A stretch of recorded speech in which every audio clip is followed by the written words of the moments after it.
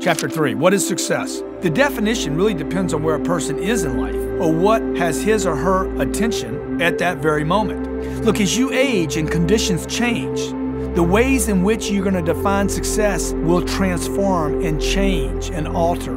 Where you are in life, the conditions you're facing at this moment, and the situations, the events, the people in which you have your attention is most focused will influence your definition of what success means to you at that time. Success can be found in any number of realms financial, spiritual, physical, mental, emotional, philanthropic, communal, or familial.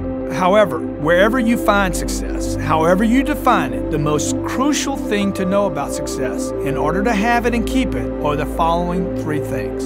Number one, success is important. Number two, success is your duty. And number three, there is no shortage of success. Success provides confidence, security, a sense of comfort, the ability to contribute at a greater level, and hope and leadership for others in terms of what might be possible. Think of success in terms of expansion. Success is equally important to a person's sense of self.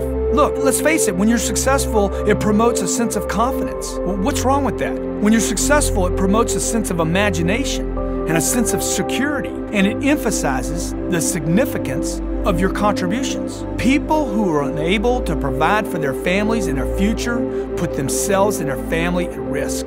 That can't be good. Get real. Regardless of whatever your goals that you're trying to attain, success is critical, man. Quit playing with it. Quit diminishing the value of it. It is vital, it is critical. If you quit caring, then you're going to quit winning. And if you quit winning long enough in this thing called success, you're going to just plain quit.